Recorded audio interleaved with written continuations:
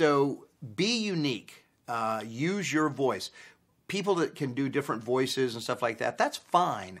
But really, what uh, people are looking for is, again, being real. So you want to just use your voice, but your voice may need to be uh, really excited or eh, just sort of an everyday guy, or maybe a little more somber, you know, a little more serious or something like that. But it's still your voice that's coming out. Probably the only caveat to all that is the bottom line is it's all about acting, voice acting. There, You still have to have a little bit of performance in there to make people believe that you believe it, that you're conveying the message properly. And um, if you have to turn, you know, maybe a little role, like say you're playing a scientist or mom or whatever it is, um, you have to make that part believable.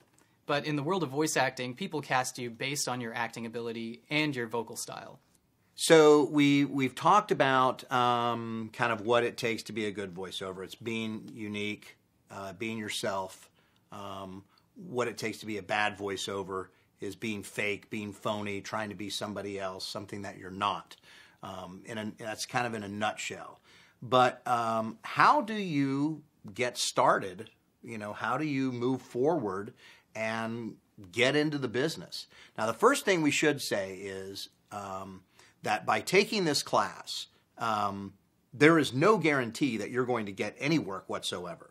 Um, that is just the nature of this business. It is a very competitive business.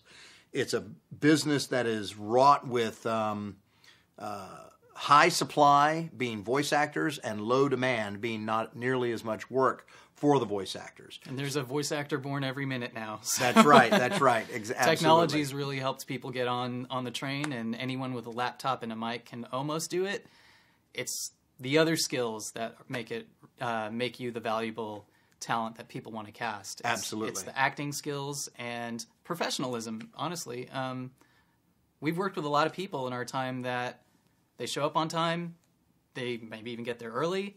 Um, we're in a casual work environment. That doesn't mean you know just roll out of bed and don't take a shower, but you know we might not be wearing pants for all you know here. I mean, we're pretty casually dressed, and this is pretty much all we got to do for the studio. But you know, it's still a professional environment because we're still providing a, a, a high end product for media that uh, might be viewed by you know or listened to by hundreds of thousands of people, if not Right. millions. Right. So you never really know. And the, the landscape, I mean, you bring up a great point, Afshar. The landscape has really changed. Um, when I started doing voiceover work, you got hired, you went to a studio, which you still do. Uh, you went to a studio, you met with the engineer, the producer, perhaps the client, you know, and you went into the booth and you did your stuff, and then you came out, and hopefully they said, great job. Um, but again, it was important that you show up on time, probably a little early, that you're uh, you know you bathed you know you, you don't smell bad you know you're you're clean you're presentable. I mean you're professional like afshar said. Um, one of the things about going to the studio is is that that studio is costing the client an hourly rate anywhere from 50 60 to 200 dollars an hour. And if they're having to wait on you because you're running late uh, whether it be you forgot or you're stuck in traffic whatever the reason it really doesn't matter because the ticker is going so you want to make sure that you get to the studio on time and you're ready to go when they are um, again, also, you're not going to be given a script ahead of time, more than likely. So you want to have uh, a few minutes, if you can, you can look over that script. So, but technology uh, has kind of changed that, and now there are a lot more home studios. There are a lot more single man operations where. Um, you don't have a giant setup. You have somebody with a laptop, somebody with a nice microphone, somebody with running Pro Tools, and they've got their closet set up as a voice booth, and that's fine. There's a lot of people that can can do that sort of thing. Um, and there's lots of ways to find out how to set up your home studio. This class is not going to teach you how to do that, just so we're clear. But um, so let's go ahead and just get started. So, if you want to be a voice actor, uh, Afshar, you've said this numerous times, you've got to get training. What's some of the best kind of training you can get? easily acting classes. That's the bottom line. Everyone that's come to us that has had a little bit of acting training, even if it was like high school drama, they're one step ahead of the game because they've got their foot in the pool and they kind of know the direction to go. It's not just about, like we said, funny voices or having a cool voice. If you had a cool voice, you could be a singer, you could be an MC, you could do anything with that voice. You don't have to be a voice actor, but if you want to, the you know the foundation to that I think is is acting classes. Absolutely. Uh, we don't tell people to go take singing classes or cooking No. classes or any of that stuff. That doesn't matter. No, but we do tell everybody. I mean, without fail, unless they come in and they're just, you know, whoa, you blew us away. The one thing we tell them is you don't need to take our class over and over and over again. We're going to teach you what to do, but you can and you can take those that little skill set and take it home and practice on your own. You know, and that doesn't cost anything, which is good news. Um, but if you're going to take another class, take an acting class. Get in front of a camera, work with other actors because in the end, it's all the same. It's all acting, and it will help you be able to interpret scripts. And they're typically very affordable. You can get a, a bundle of classes, and it's highly recommendable just because coming to a studio for private lessons can be very uh, cost prohibitive for some people. Absolutely, absolutely. I mean, uh, you know, you know what you paid for this class. Um, it's usually three to four times more in person.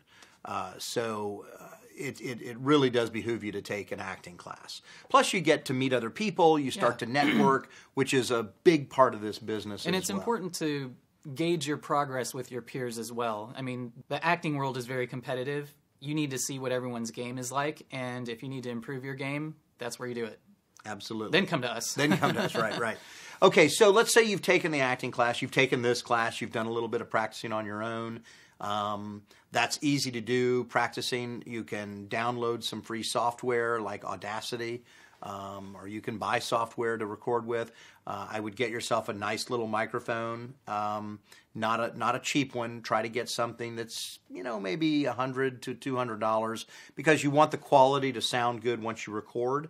And if you don't get a good quality microphone, it's not going to sound as great and you may get discouraged. So you don't need to go get a Neumann and spend thousands of dollars, but you do want to get a fairly decent little microphone. Um, and then you can find scripts and copy all over the internet. Pick up a magazine, pick up a newspaper. yeah, you book, know, anything. a book or anything, exactly. And just start reading and practicing. And then and by reading, you mean out loud. out loud. Yeah, don't read it to yourself. Voiceover is very ineffective if you do it to yourself. Um, but then get somebody to listen to it, somebody that you trust, and somebody that will give you an honest opinion. Don't get a friend who's you know trying to get you to go to the game, and they're like, "Yeah, that sounds great, let's go." You want to get somebody who will really listen to it and tell you if it was good or tell you if it was no good at all. Because if you don't get the proper feedback, then um, you're not going to know how to improve yourself. So you want to get that training, get that training, and then train yourself. Practice, practice, practice. A little bit a day, five, ten minutes a day. It doesn't take a whole lot, but you want to keep that going.